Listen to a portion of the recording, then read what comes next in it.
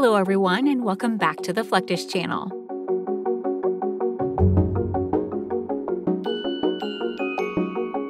Throughout mankind's history, salt has played a vital role contributing to preserving food and adding flavor, being used as a medium of exchange and even currency in certain cultures.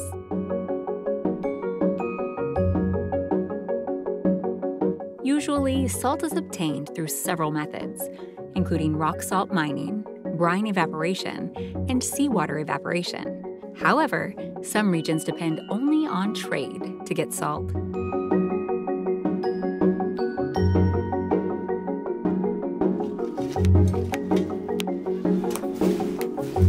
We are the manufacturer of black salt in all over uh, manufacturer of black salt and we selling black salt in all over India except abroad.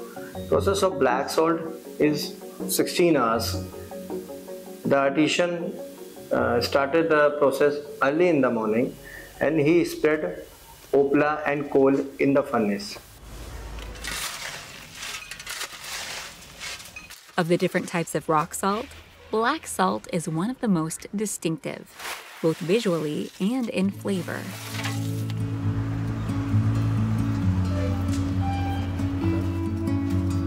India is the largest producer and exporter of black salt, considering it was originally manufactured there.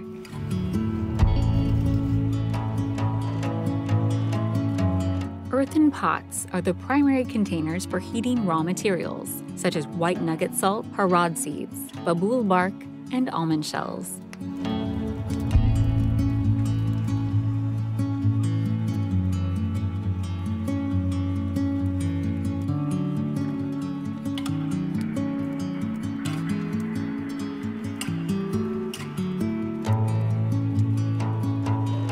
Its distinctive color is due to the minerals and iron sulfides it acquires during production.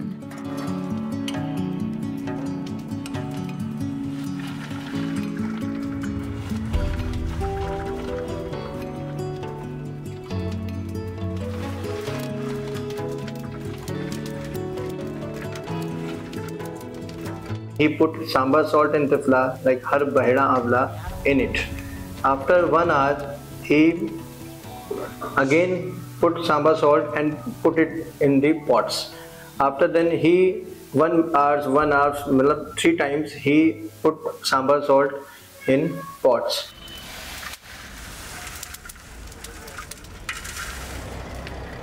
Clay pots have excellent thermal properties that allow for uniform heat distribution.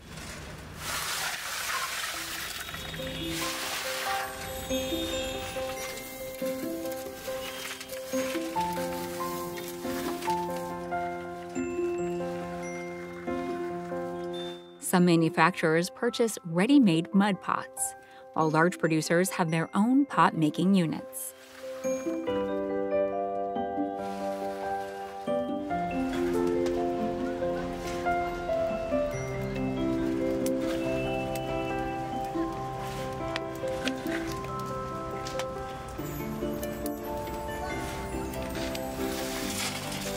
Workers use different firing materials, including coal, but also cow dung, and a mixture of coal with molasses.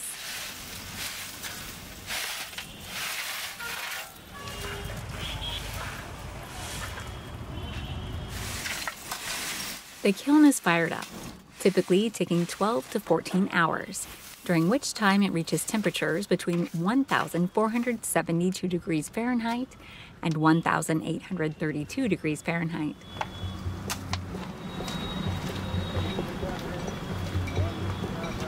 Reaching these temperatures is important, considering that the melting point of white salt is nearly 1,470 degrees Fahrenheit.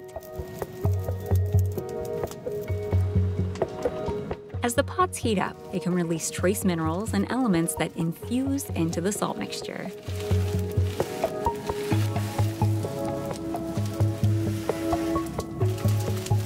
After 12 hour process, the pot fulfilled with uh, liquid black salt okay. After then he left for furnace whole night for cool down.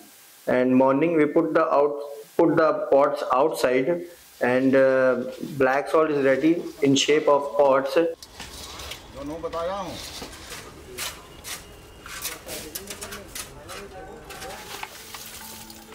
Once the clay pots have been heated for a day, they are left to cool for another 8 to 10 hours, usually during the night.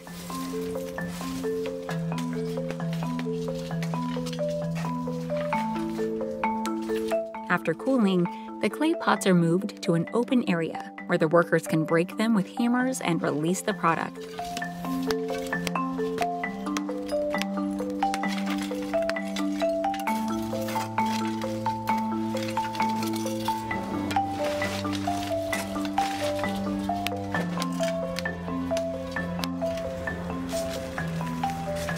Black salt formed is then categorized according to the quality of the mineral and the shape formed during firing.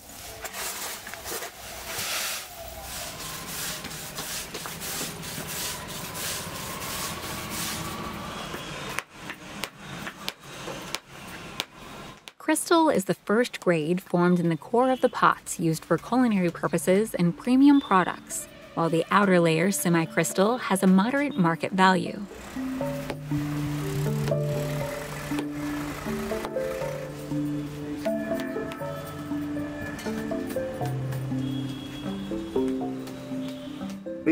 Arrange black salt or packed black salt like the order. Which type of order we getting? In small piece, big piece, in powder form, in many form. We pack that.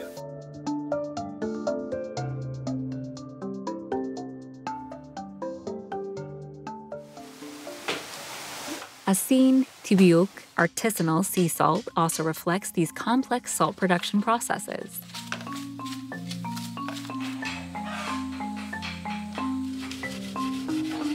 Mao ni ang ginama nga asin tibuok. Palit mo na ni kay perting lami agyo ng asina. Urag binitsina ni mo makatilaw mo na ni. Organic nga asin wa gani mga sagol. Kalayo nga lig ay wa gani hugaw kayo sa adlaw siga ni. Bato. Kaya bato siya. Burag bato pero makatilaw man ni tamis-tamis gyud. Maghigami mo palit ani o makatilaw man na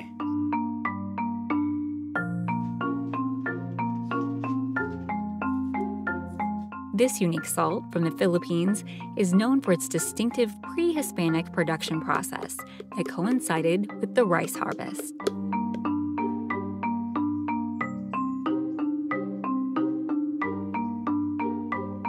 The result of a labor intensive process rooted in traditions.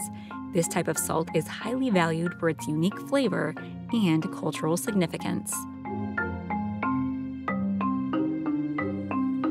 Kuy ko sa ngamahan. Nagbunot sa lubedo, dadon si dagat, among sa una, sinangay pa, may sikanan, among pasan, para nang makuan. Ihumol sa sparel, to, kabulan ang humol ana, abot ang to kabulan, habwaon, nya, tataron, ibulad, magbulad, isod, isod sa kamalig, pundo sa diha, kay manguha na pumiog. Fibers of the coconut husks allow them to absorb considerable quantities of sea minerals once they're soaked in seawater for months. After drying, the husks are chopped and slowly burned until creating a coconut charcoal and ash mixture. Ah,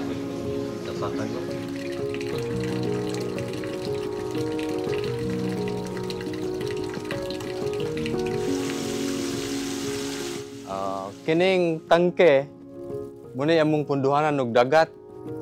Kaning dagat didto hubuton sa pam. Didto sa ano, dagat padulong aning tangke. Muna among gamiton diri sa pagdaob aning daobanan.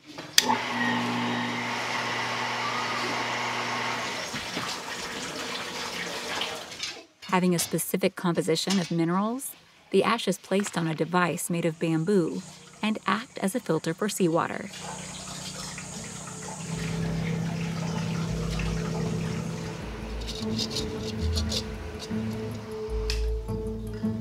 The resulting liquid is collected in a large carved out coconut trunk, that serves as a receptacle and then into special clay pots.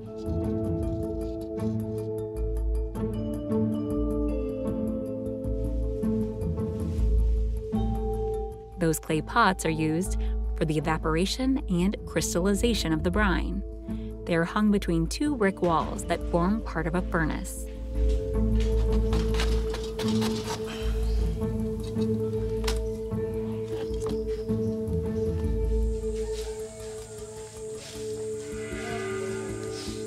After finishing the arrangement of pots, the workers begin to prepare the furnace, adding the fuel under the clay.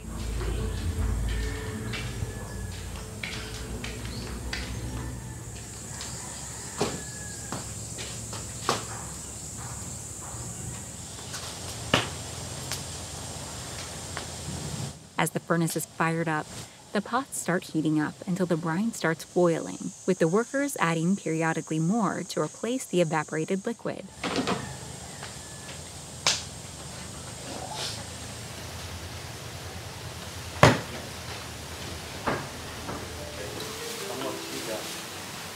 During this process, workers must maintain an optimal temperature throughout the furnace.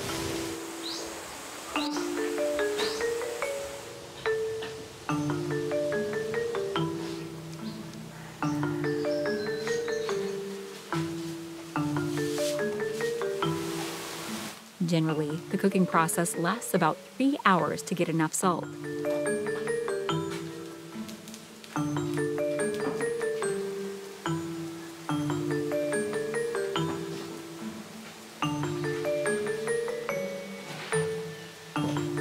Kaning tasik namo nga gikan sa sagsag ug ikomparar sa dagat mas parat ni siya kay daghan naman na iyang naipon nga mga materialis nga naparat siya kay gikan sa bunot gihumol sa dagat nagakuha siya parat nagidaoban dagat.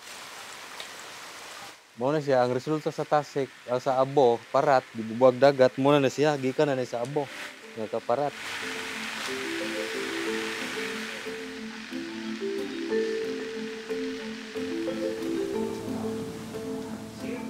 salt makers know the process is complete when the clay pots pop, exposing the round bottom.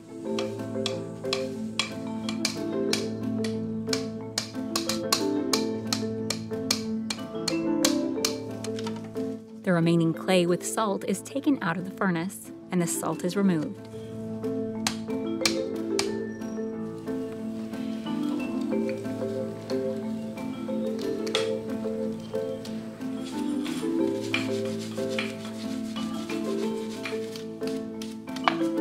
To achieve this, the workers break the remaining clay, leaving only the artisanal salt.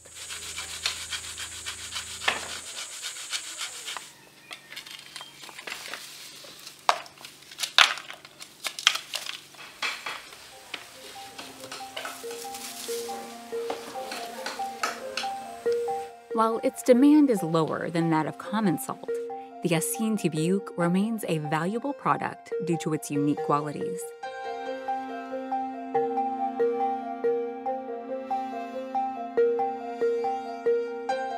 This product is packaged with traditional materials, such as woven baskets or food grade plastic bags and boxes, for a broader market.